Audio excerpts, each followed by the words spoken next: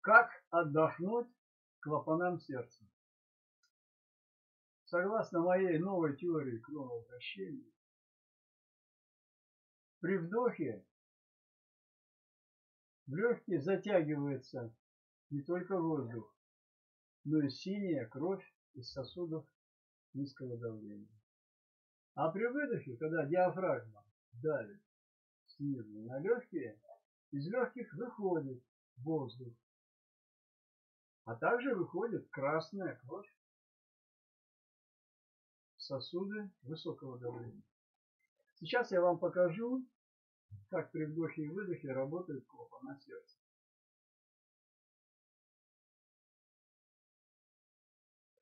Перехожу на экран моего смарт-телевизора и включаю. Сейчас работает правая клапана сердца, трехстворчатый клапан, вот он, и клапан легочного ствола.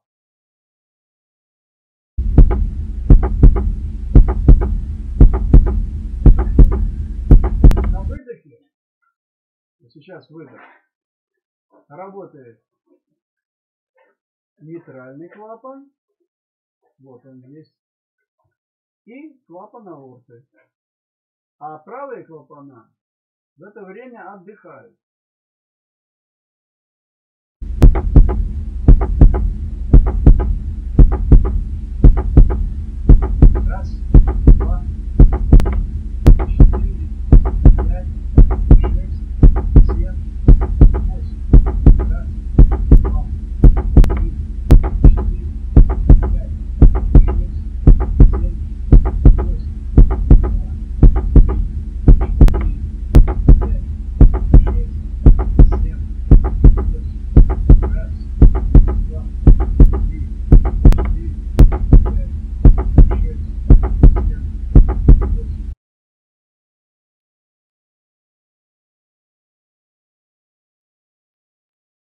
Для чего я сделал сегодняшнее видео?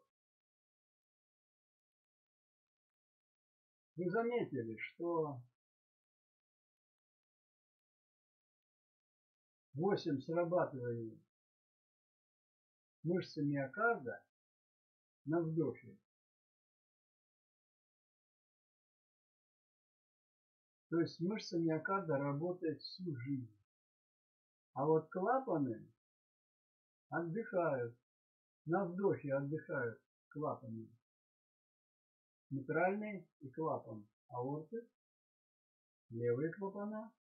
А на выдохе отдыхают правые клапана, трехстворчатый и клапан легочного ствола. Поэтому надо вдох делать продолжительным.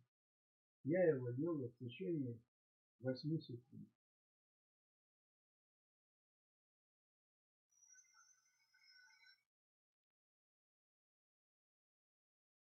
Потом 8 секунд выдох.